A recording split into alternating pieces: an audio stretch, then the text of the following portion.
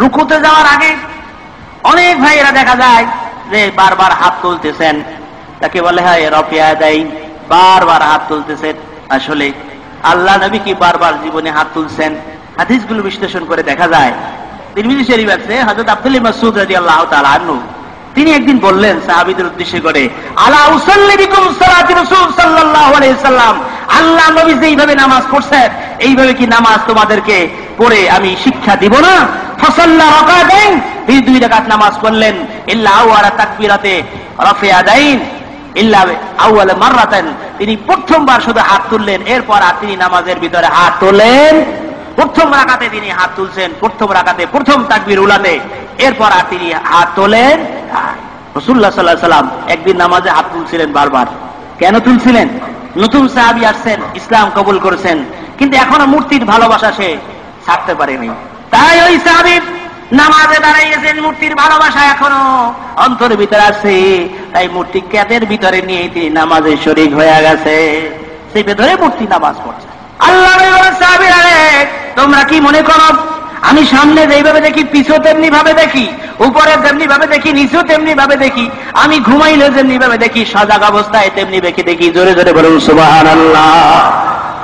সুতরাং তোমরা নামাজের ভিতরে পিছনে কীভাবে কীভাবে নামাজ আদায় করে, আমি সব সামনে থেকেও দেখতে পাই। জোরে বলুন সুবাহান আল্লাহ হুজুর তো দেখতে পাচ্ছেন, ওই সাহাবির কাছের ভিতরে মূর্তি আছে।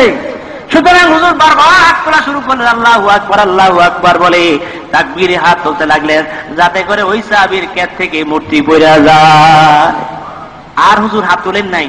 হুজুর দেখলেন, একদা এক সাহাবি বারবার নামাজের ভিতরে হাত তুলছে। সাহাবাই কেরাম তো হুজুরের কাছে আসতেন, অনেক দূর দূর থেকে অনেক সাহাবির আসতেন। এসে তারা একদিন দুই দিন থাকে আবার চলে যাইতেন। আবার হয়তো দুই বছর, পাঁচ বছর পরে আবার আসতেন। কিন্তু ইসলাম এটা পরিবর্তন পরিবর্তন হয়ে এসেছে। একসাথে কোরআন নাজিল হয় নাই। আস্তে আস্তে করে কোরআন নাজিল হয়েছে। নামাজের রূপরেখাও আস্তে আস্তে করে পরিবর্তন হয়েছে। যে আগে নামাজের ভিতরে কথা বলা যাইতো। এরপর আল্লাহ নাজিল করে যে, না, নামাজের ভিতরে কথা বলা যাবে না। আগে নামাজের ভিতরে সালাম দেওয়া যাইতো। পরবর্তীতে নিষেধে সালাম দেওয়া যাবে না। আগে প্রাথমিক ভাবে নামাজে এদিক সেদিক তাকানো যাইতো। পরবর্তীতে নির্দেশ আছে, না, এদিক সেদিক নামাজের ভিতরে তাকানো যাবে না। নামাজ পড়তে হবে, একনিষ্ঠ হবে, খালেজ হবে, আল্লাহর কদমে সেজা দিতে হবে। কেরাম যখন যেভাবে দেখে গেছেন, সেভাবেই সে আমল করেছেন, কিন্তু আমল তো আস্তে আস্তে পরিবর্তন হয়েছে। হুজুরের জীবনের শেষ আমলগুলো কীভাবে ছিল, এটাই হলো পরিধানযোগ্য, এটাই হলো আমাদের জন্য গ্রহণীয়। পরবর্তীতে আল্লাহ নবী একথা দেখলেন, এক সাহাবি নামাজের ভিতরে বারবার হাত তুলতেছে। মুসলিম শরীফ ভিতরে আসছে হাদিসটি। রসুলি পাক সাল্লাম তিনি দেখলেন, এক সাহাবী নামাজের ভিতরে বারবার হাত তুলতেছেন। তখন হুজুর রাগ করে বললেন, মালি আরাকুম রাফিআইদিকুম কান্নাম আজদাবুল খৈলি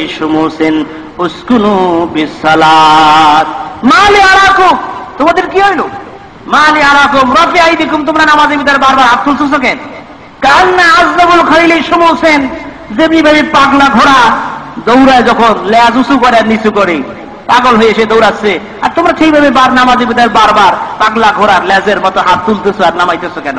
উস্কুরু ফিসলা নামাজি ভিতর খামুশ হয়ে যাও। সুন্দরভাবে নামাজ আদায় করো। জোরে বলুন সুবাহান আল্লাহ নবী পরিষ্কার করে নিষেধ করে দিলেন। বারবার নামাজের ভিতরে হাত তুলতে নিষেধ করে দিয়েছেন। পরিষ্কার করে হাদিস আসছে, মুসলিম শরীফের হাদিস। মালি আরাকুম রাফিআইদুকুম কান্নাবা আজনুবুল খাইলের সমুজ। তোমরা বারবার নামাজের ভিতরে হাত তুলো না। রুকুতে যাইতে গিয়ে প্রত্যেক রাখাতে বারবার হাত তুলো না, শুধু হাত তুলতে হবে।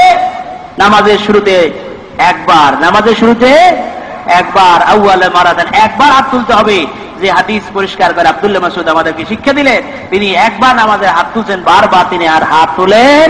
রফিয়া দেয় হুজুর পরিষ্কার করেন, নিষেধ করে গেছেন। ঠিক কিনা ধরে বলেন?